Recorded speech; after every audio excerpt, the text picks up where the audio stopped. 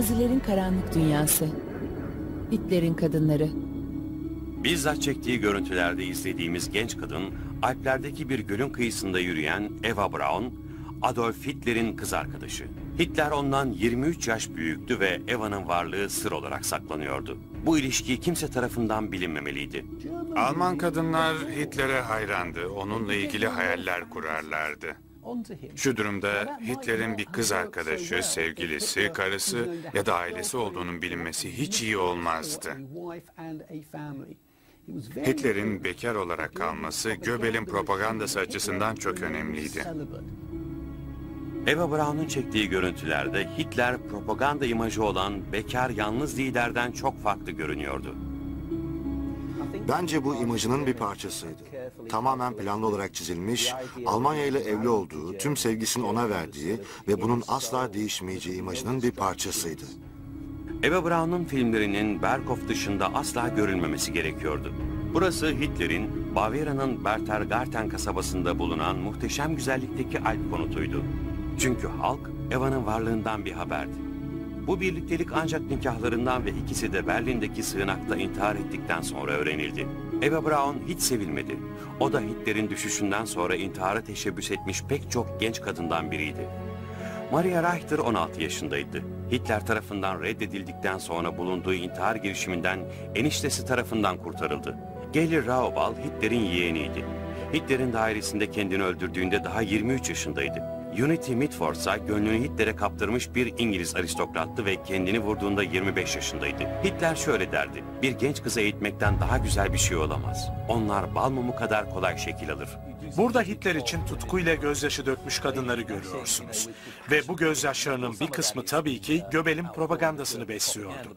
Yine de bazı günlük ve mektuplardan anlaşılacağı üzere çoğu kadının, özellikle de genç kadınların Hitler'e aşık olduğu kesin. Ancak olay şekil verilebilir genç kızlarla sınırlı değildi. Winifred Wagner gibi olgun, yüksek sınıfa mensup kadınlar da Hitler'in çekiciliğinden ve politik zekasından etkileniyordu. Varlıklı sanayici Dul Magda Goebbels de Hitler'den etkilenen kadınlar arasındaydı.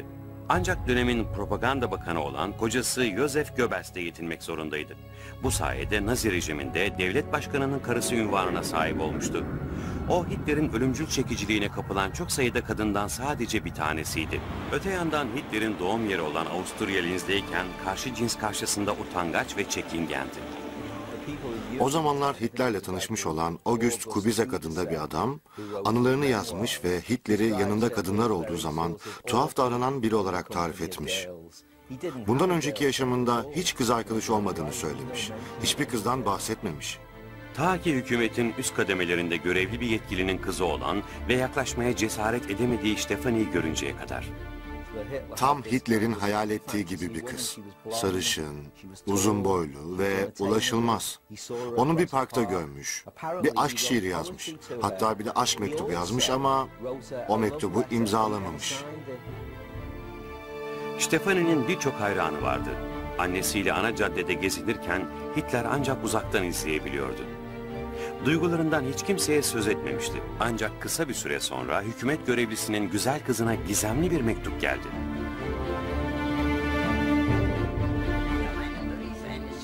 İsimsiz bir mektup aldım. Yazan kişi Viyana'daki sanat akademisine gideceğini, sonra Linz'e döneceğini ve benimle evleneceğini söylüyordu.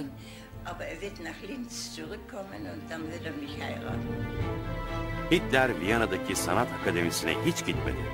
Stefani ise başka biriyle evlendi. Büyük bir talihsizlikle sonuçlanabilecek birliktelik hiç başlamadan bitmişti. 1914 yılı Ağustos ayında 25 yaşındaki Avusturyalı gönüllü Adolf Hitler de dahil olmak üzere genç Alman erkeklerin çoğu savaş furyasına kapılmıştı.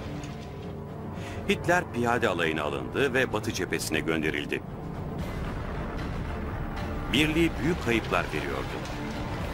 Ulak olarak görev yapan onbaşı Hitler, savaşın bu korkunç yanlarına pek dahil olmadıysa da gösterdiği cesaretten dolayı Demir Haç madalyasına layık görüldü. Bu madalyayı diktatörlüğü sırasında giyeceği ceketin göğsünde taşıyacaktı. O zamanlar tuttuğu günlük Bavyera Devlet Arşivinde saklanıyor. Burada Hitler'in 1916 yılı baharında Fransa'nın kuzeyindeki küçük Fern kasabasında bulunduğu yazılı. Yıllar sonra Fransız bir kadın bu kasabada onunla tanıştığını söyledi.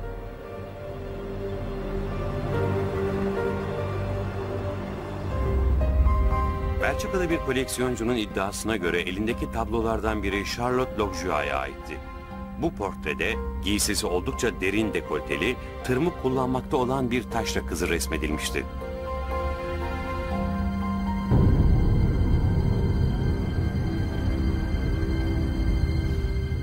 Tablo Adolf Hitler 1916 olarak imzalanmıştı. Ama bunu kanıtlayabilmiş olan yoktu.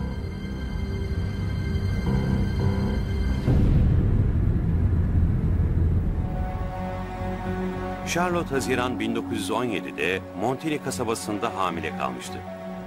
Hitler'in tuttuğu savaş günlüğüne göre aynı dönemlerde o da Montigny'deydi.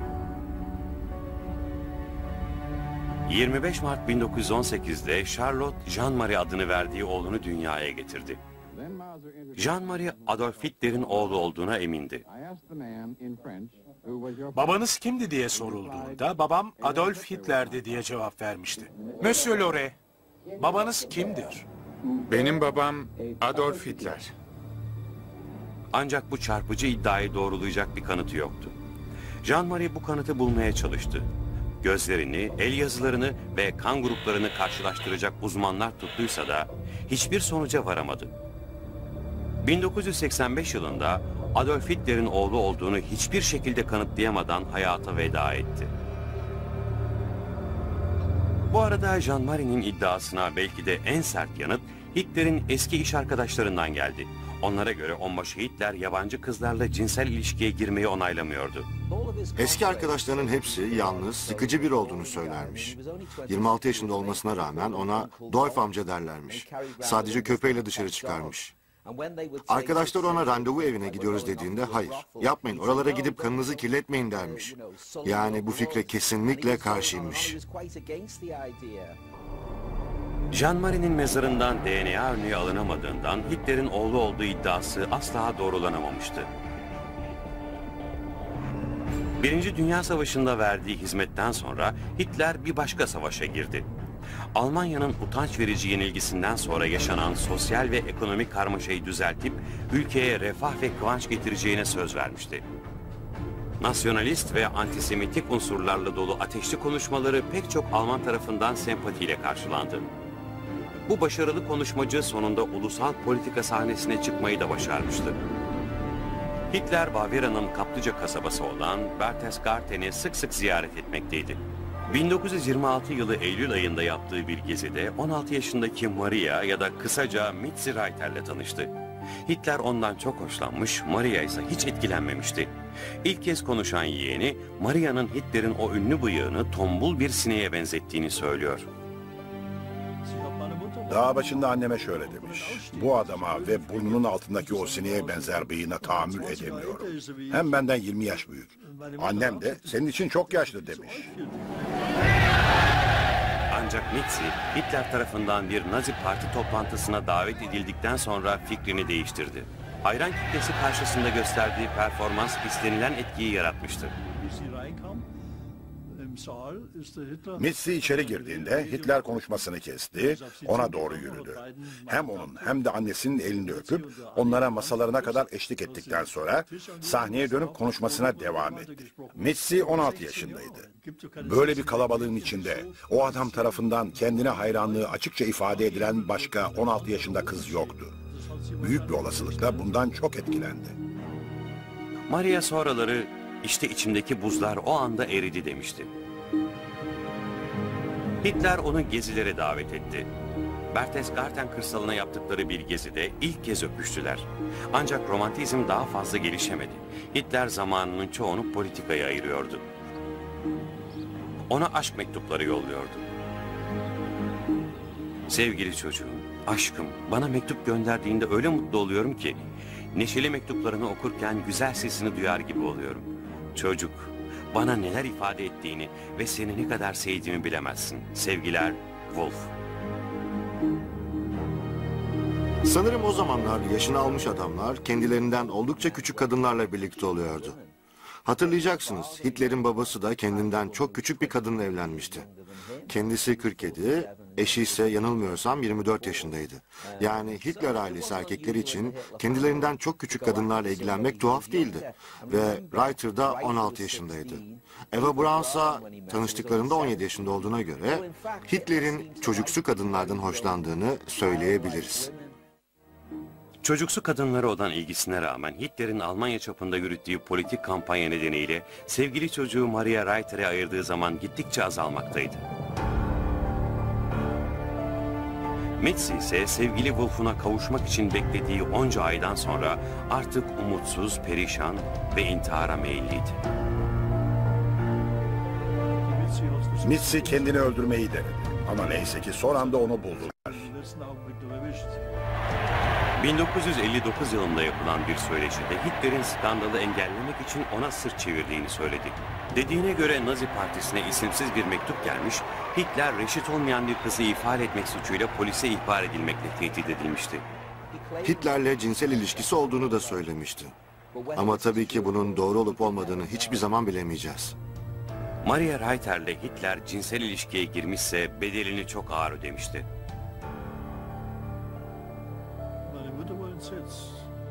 Annem mutlaka çocuk sahibi olmak isteyen Mitzi'nin Hitler'in isteğiyle kısırlaştırma operasyonu geçirdiğini duyduğunda dehşete düştü. Çünkü Hitler çocuk istemiyordu. Mitzi ise her koşulda onunla olmak istiyordu. Ve bunu başardı.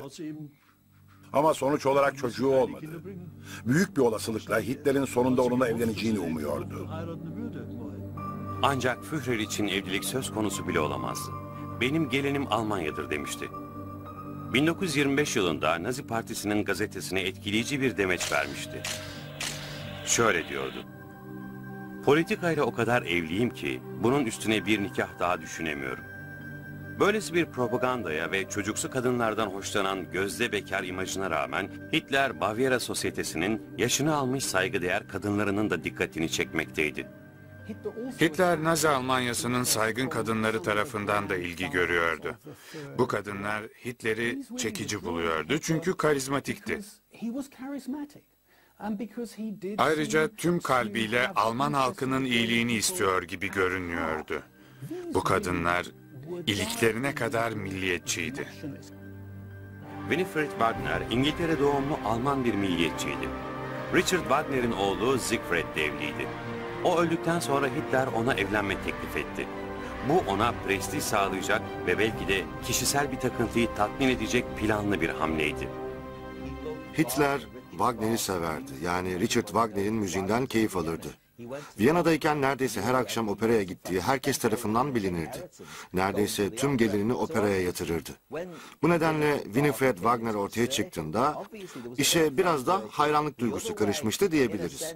Düşünsenize Winifred şayet Hitler'i Wagner'le yola getirebiliyorsa Almanya için neler yaptırabilirdi. Bu teklifi 1930 ve 33 yıllarında iki defa yaptı. Her ikisinde de bunu ancak resmi bir sıfatın olduğunda kabul edebilirim cevabını aldı.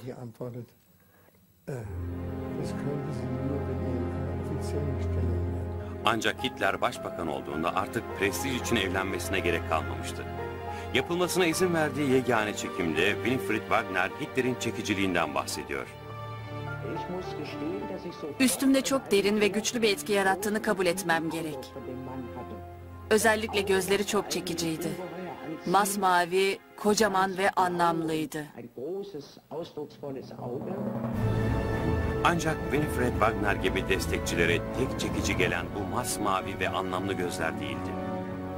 Winifred Wagner'in durumundaki Musevilerden nefret ederlerdi. Hitler'in Yahudi aleyhtarlığı, Alman milliyetçiliği ve Bolşevizm aleyhtarlığı onlara fazlasıyla hitap ediyor, fikirlerine uygun düşüyordu. Yani konu sadece karizması ya da cinsel cazibesi değildi. Söz konusu kadınlar Nazi elit tabakasının politik dünyasında bizzat rol almış, zeki ve politik düşünen kadınlardı. Wagner'in mezarına ve Bayreuth'taki villasında bulunan balo salonuna sembolik haçlar düzenleyen de bu elit tabakaydı. Üstün Alman kültürü ve üstün Alman saf ırkı idealleri burada ortaya koyulmuştu. Münihli bir aristokrat ve yayıncının eşi olan Elsa Bruckmann da Hitler'e destek oluyordu. Onu yararlı olabilecek sanayicilerle ve bankacılarla tanıştırıyordu. O ve diğer saygıdeğer kadınlar Hitler'e para vermekte kalmıyor, paranın satın alabileceğinden daha değerli olabilecek bir şey sunuyorlardı. İtibar.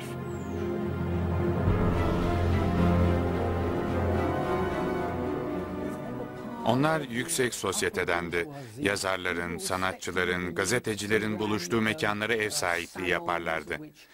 Hitler'e faydalı olabilecek kimselerle tanıştırabilirlerdi ve evlerinde bulunması nedeniyle Hitler saygıdeğer biri olarak görülürdü. Onu yumuşatmaya, ehlileştirmeye çalıştılar. Ama tabii ki onun fikirleri biraz olsun değişmedi. Ancak Hitler'in en önemli destekçisi Helen Bechstein olmuştu. 1924 yılında polise verdiği ifadesinde dediği gibi ona sanat eserleri vererek destek oluyordu. Bunlar çok değerli eserlerdi. Ünlü piyano imalatçısının eşi Hitler'in seçim kampanyasına da hem kredilerle hem de Almanya çapında yapacağı yolculukta kullanması için yepyeni bir Mercedes kompresörle destek olmuştu. Hitler'in zirveye çıkışı Frau Bechstein gibi kadınlar sayesinde hız kazanmıştı. Münih'te iyi tanınan bir kadındı. Hitler'in de katıldığı akşam yemekleri düzenlerdi ve gün geçtikçe onu daha da çekici buluyordu. Hitler'den yaşça çok büyüktü ancak Hitler'in kendinden büyük kadınlara karşı çok zarif, çok etkileyici tavırları vardı ve bu onların çok hoşuna giderdi. Buna çok defa şahit olmuştu. Ancak bunlar tamamen hesaplı, sosyal yükseliş sağlayacak ilişkilerdi. Özel yaşamında ise Hitler daha genç kadınlarla birlikte olmayı tercih ederdi. Yeğeni Geli Raoval gibi. Geli üvey kız kardeşi Angela'nın kızıydı ve Hitler onun koruyucusu haline gelmişti. Çok gençti, kolay etkileniyordu. Babasını küçük yaşta kaybetmişti ve üvey amcası Hitler'i pek çok açıdan baba figürü olarak görüyordu. Geli 19 yaşına bastığında Hitler'in yanına Münih'e taşındı. Geniş dairenin bir odası ona ayrılmıştı. Hitler yeğeninin girişkenliğiyle gurur duyuyor, Nazi Partisi'nden arkadaşlarının da olduğu toplantılara yanında götürüyordu. Akranları Geli'yi daima odak noktası olan tatlı bir kız olarak tanımlıyordu.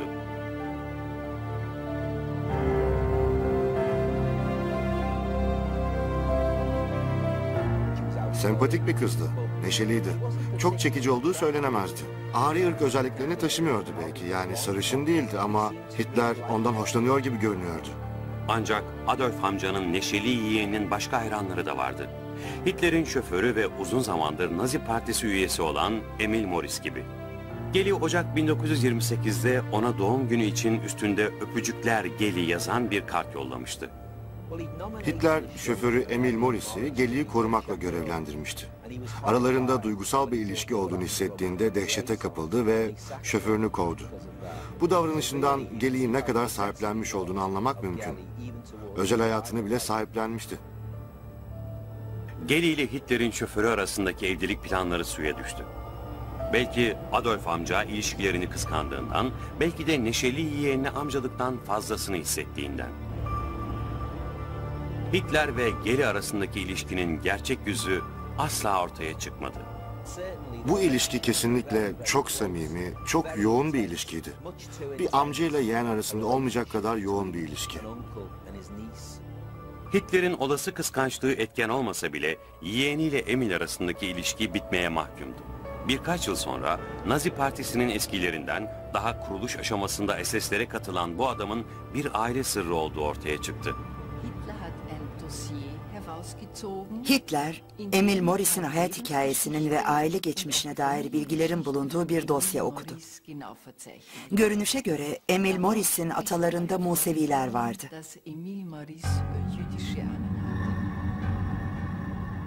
Hitler'in parti üyesi arkadaşı Musevi kökenliydi.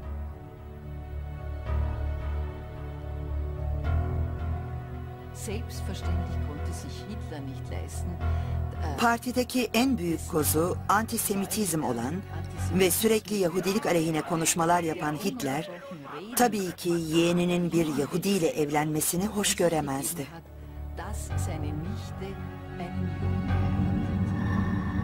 Hitler şoförünün Musevi kökeninden haberdar olsa da olmasa da bu ilişki bitmişti.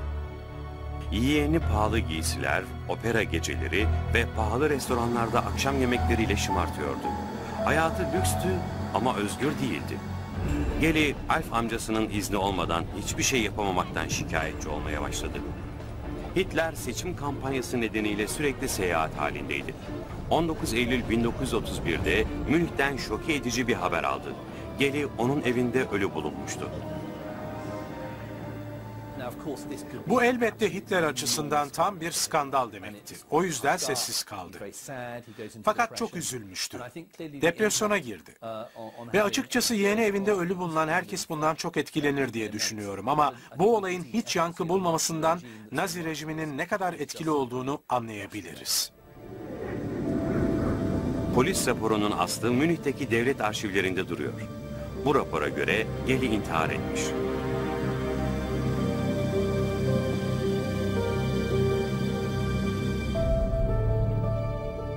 Öğleden sonra saat 3 civarında çekmeceden Hitler'in tabancasını almış. Evdeki hizmetliler Geli'nin odasına girdiğini, arkasından kapıyı kilitlediğini görmüş.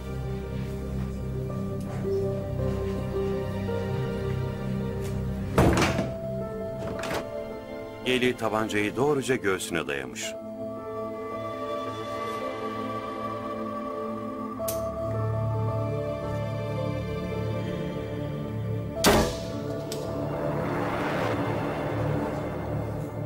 Mermi kalbine gelmemiş ama akciğere isabet edip ölümüne neden olmuş.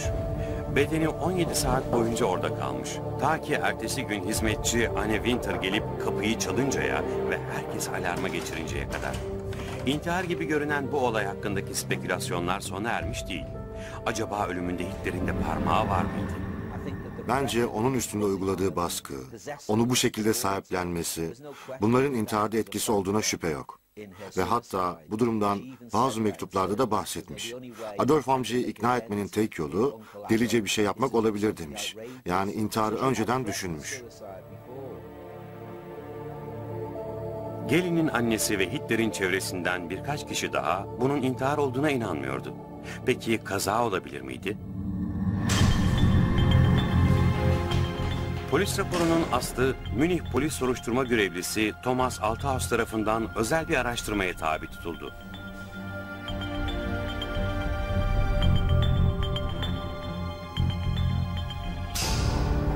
Ona göre eldeki kanıtlar intihar girişimini gösteriyor. Kaza sonucu ölümü değil.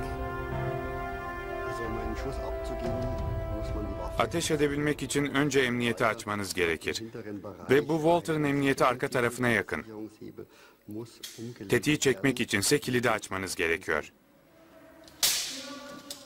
Raporda belirtilen bilgilere bakarak kaza olasılığının söz konusu bile olmadığını söyleyebilirim. Geli Viyana'da toprağa verildi. Hitler bu kaybın kendisini derinden sarstığını söyledi. Hitler'in aklında başka kadınlar da vardı. Gelin'in ölümünden birkaç ay sonra önemli bir sanayicinin zengin eski eşiyle tanıştı. Magda Kuant oğluyla birlikte Münih'te lüks bir dairede yaşıyordu. Aynı zamanda Hitler'in sert antisemitik görüşlere sahip propaganda bakanı ve Nazi Berlin bölge lideri Joseph Goebbels'in sevgilisiydi.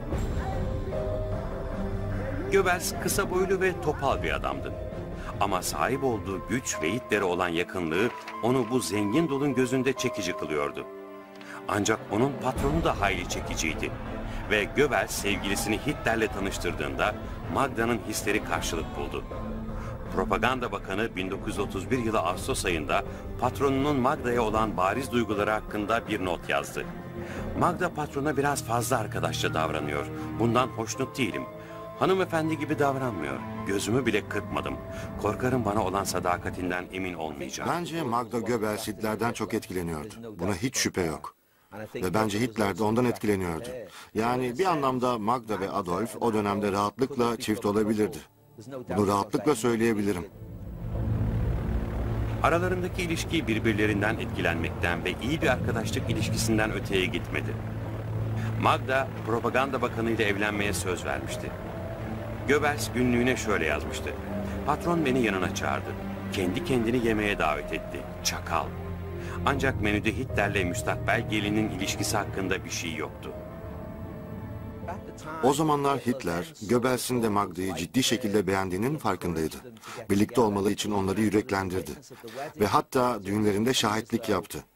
Yani içinde Magda'ya karşı hala bazı hisler varmış gibi görünmüyordu. Aralık 1931'de evlendiler. Magda Goebbels, Nazi Almanyası'nda başkanın karısı konumundaydı. Ülke ziyaretlerinde boy gösteriyor, bir anne ve iyi bir eş olarak marifetlerini sergiliyordu. Altı çocukları oldu. Sorumluluk sahibi, doğurgan bir kadın olarak Nazi ideallerini hayata geçirmişlerdi.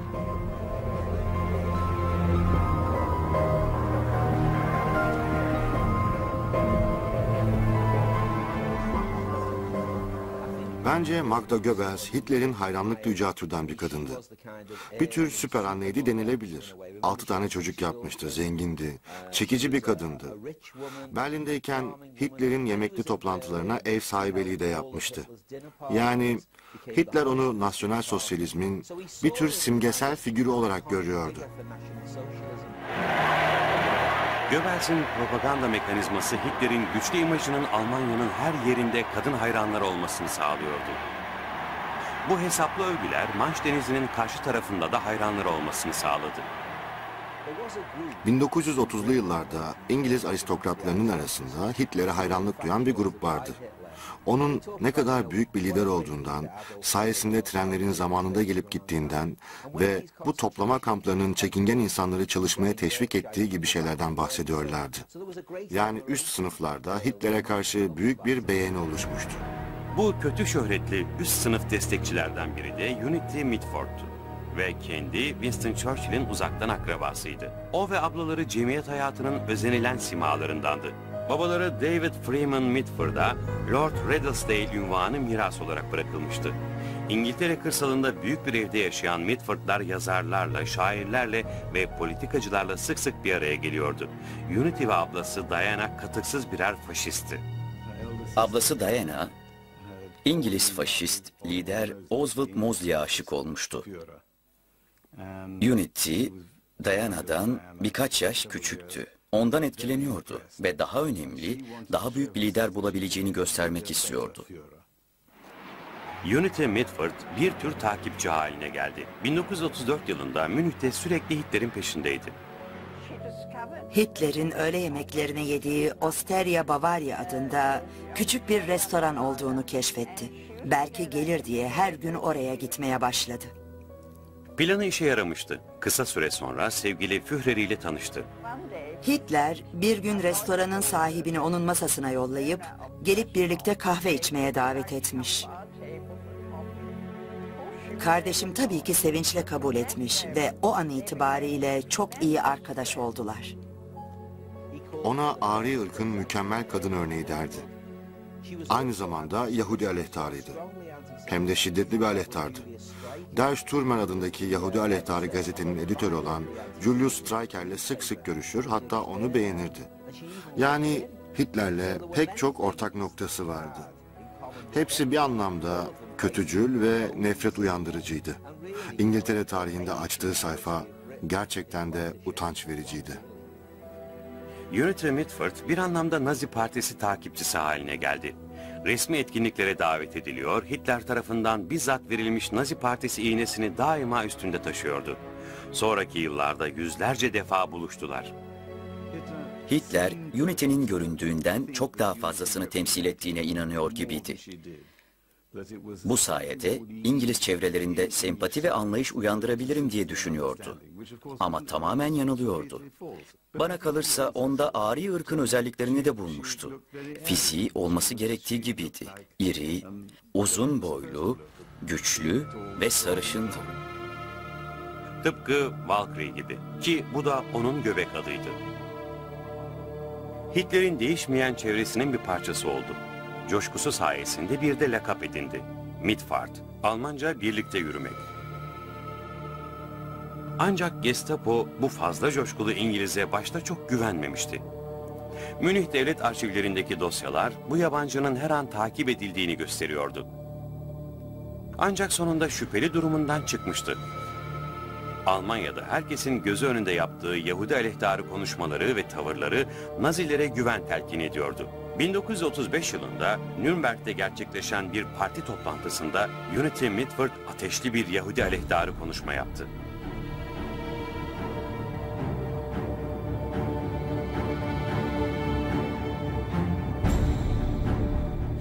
Nazizmin her şeyin cevabı olduğuna inanıyordu.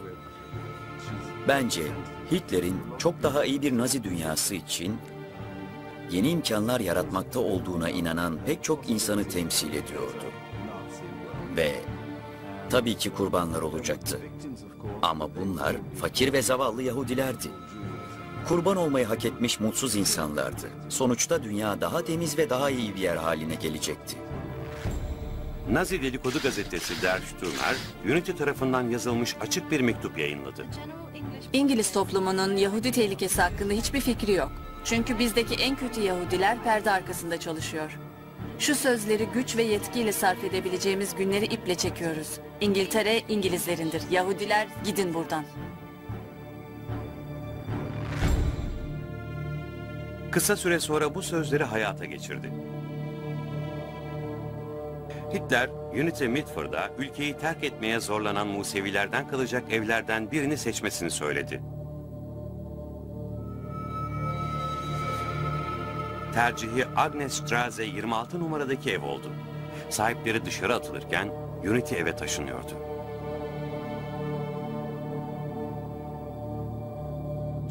O evin sahibi olan Musevi çift henüz dışarı bile çıkmamışken Unity eve girip bu perdeler kalsın. Koltuğu da istiyorum ama bu çok çirkin. Bunları değiştireceğim. Bunları da yenilemek gerek gibi konuşmalar yapıyordu.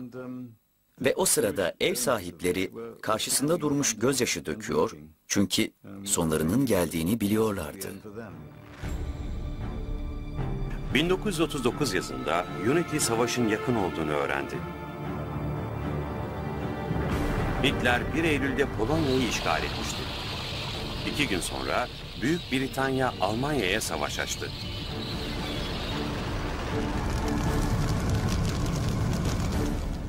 Savaş durumunu çok önemsiyordu ama İngiltere'yi de çok önemsiyordu. İngiltere ile Almanya'nın savaşmasına dayanamadı. Sonunda kendini vurdu. İyi bir operaya konu olabilecek bir hikaye. Yani Wagner veya Verdi böyle bir opera yazabilirmiş. Ancak sonucun hiçbir kahramanca ya da dramatik tarafı yoktu.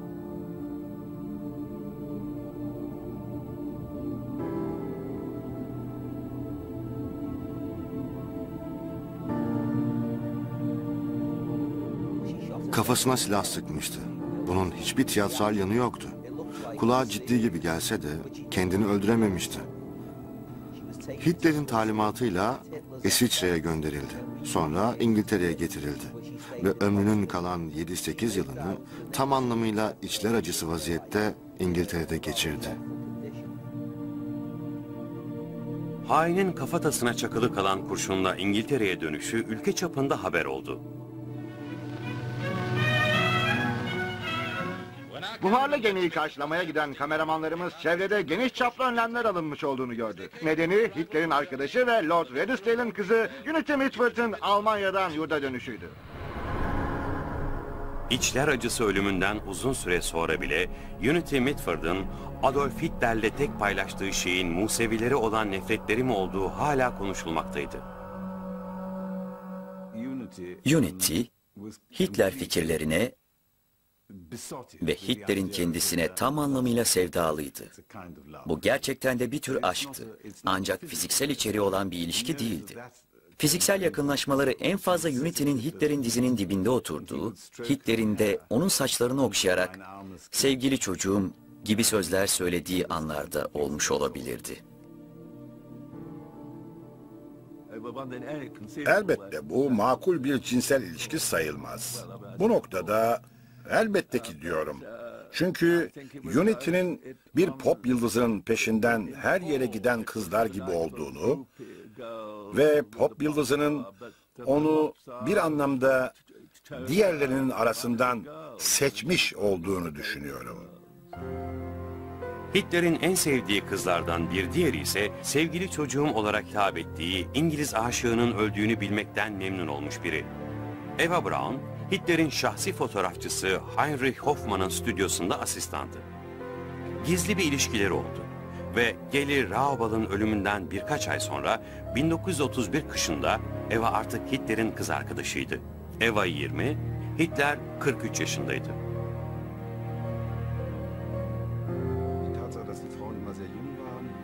Bu kadınların daima ondan çok genç ve ona bağımlı bir ilişki içinde olduklarına bakılırsa, Hitler'in sadece politikada değil, kadınlarla olan ilişkilerinde de güçlü taraf olmak istediği sonucuna varılabilir. Tıpkı Geli Raval ve Unity Mitford gibi Eva Braun da Hitler'in ölümcül lanetine kurban gidecekti. 1935 yılında Führer'in Unity'ye olan duyguları hakkında notlar almıştı. Frau Hoffman'ın da dediği gibi yerime koyacak birini buldu. İsmi Valkyrie ve bacakları da dahil onlara benziyor. O da iri kadınlardan hoşlanıyor. Eva Braun daha önce de intihara teşebbüs etmişti. Birkaç ay boyunca Hitler'den haber alamayınca günlüğüne ikinci teşebbüsünün başarılı olacağını yazmıştı. 35 tane uyku ilacı aldı, ölmedi ve bu hamleyle Hitler'in yanındaki yerini garanti altına aldı.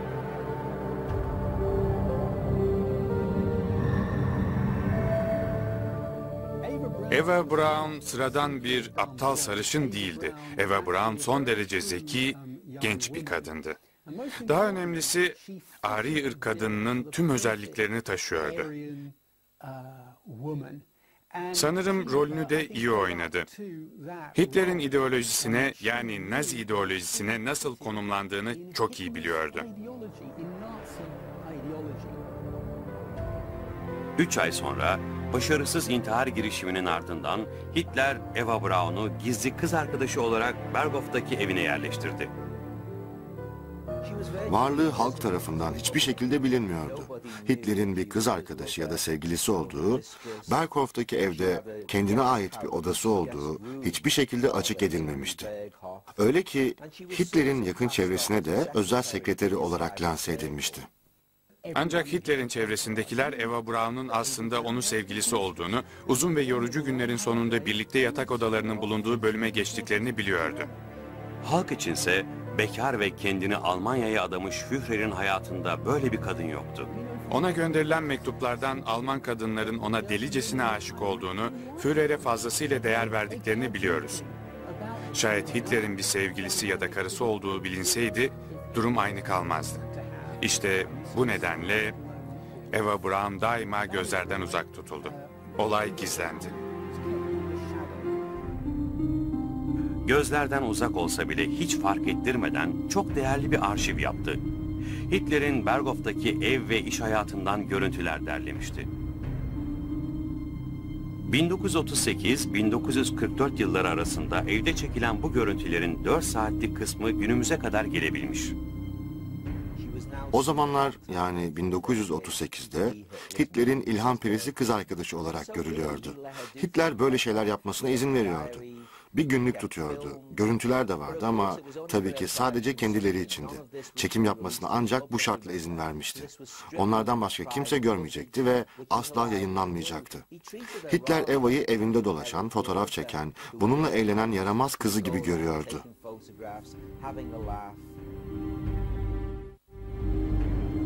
...1939 Ağustos ayında Eva Braun hiç farkında olmadan dünya tarihi için dönüm noktası olacak bir anı kayıt altına almış. Hitler gergin görünüyor. Sovyetler Birliği ile yaptığı saldırmazlık anlaşması gereği Polonya'yı rahatça işgal edeceğini düşünüyordu. Ancak tam şu dakika okuduğu bir mesaj savaş planlarını alt üst etmiş gibi görünüyor. Görüntülerde ses yok. Acaba Hitler ne diyor? Uzman dudak okuyuculardan oluşan bir ekip Nazi diktatörünün o an söylediklerini anlayabiliyor. Hitler'in zamanda kaybolmuş sözleri 1939 Ağustos'undaki o günden sonra ilk defa şimdi duyuluyor. Bunu zaten biliyorum. Hiç umurumda değil. Senin de telgraftan haberin vardır. Onu yok etmek istiyorum. Beyefendiyi aradın mı? Bu telgrafın bizim açımızdan bazı sonuçları var ve sonu kesinlikle felaket olur.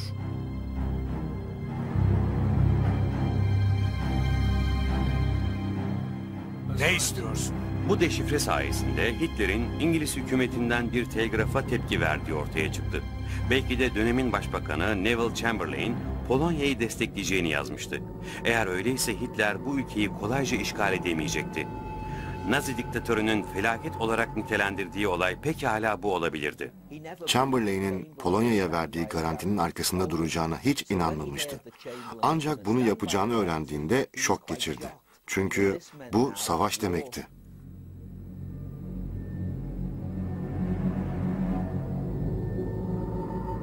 Diktatör bocalıyordu ve şekillendirebildiği kız arkadaşı Eva Braun kamerasıyla bu anı yakalamıştı. Eva Braun bu sahneyi, bu gergin anı filme aldı.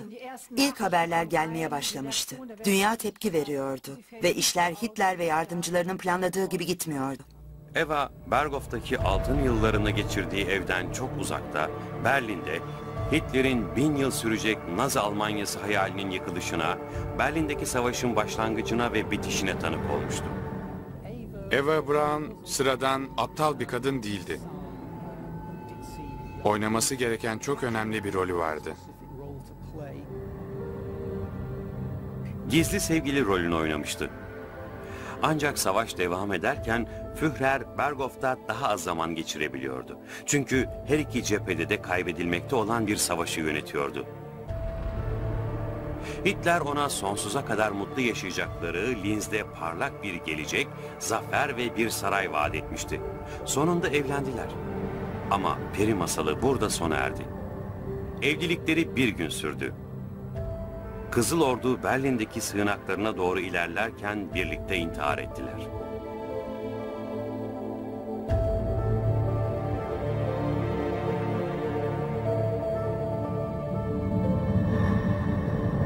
Eva Braun kendini öldüren son Hitler kadını olmadı. Magda Goebbels ve kocası yaşamda olduğu gibi ölümde de Führer'den ayrılmayacaklardı. Bence o sığınakta son ana kadar Hitler'in yanında kalmaya kararlıydı. Hatta bir akrabasına yazdığı mektupta Adolf Hitler tarafından yönetilmeyen Almanya'da yaşamaya dayanamam. Bu nedenle eğer Führer ölürse ben de çocuklarım da onunla birlikte ölürüz demişti. Hitler'in intiharından bir gün sonra Magda ve Josef önce altı çocuğunu zehirledi, sonra da birlikte intihar ettiler.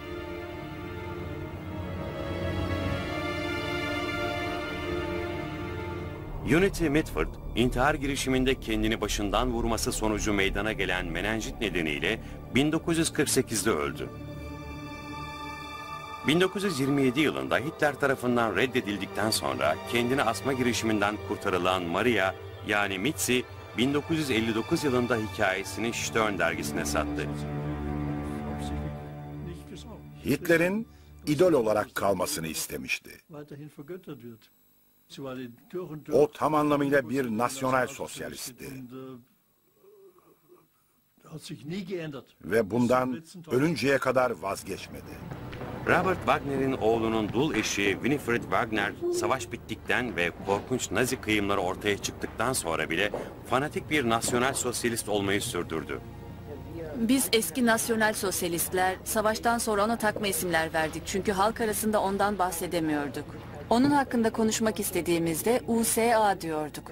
Bunlar aslında Almanca Kutsal Adolfümüz cümlesinin baş harfleriydi. Nazi Almanyası'nda bu insanların pek çoğunun inandığı bir cümle daha vardı. Führer bunu bilseydi. Böylece bu fikirle yaşayabiliyorlardı. Belki de Hitler'in yapılan kötülüklerden haberi yoktu. Ama bu insanları şimdi görüyoruz. Soykırımı inkar ediyor ve bu fikre bağlanıp yaşıyorlar. Belki gözleri boyanmıştı, belki de gerçekten çok cesur Nazi müritleriydi. Öyle ya da böyle Hitler'in kadınları Führer'e tapıyordu. Ancak tıpkı Nazi Almanyası gibi onların aşkı da sona ermeye mahkumdu.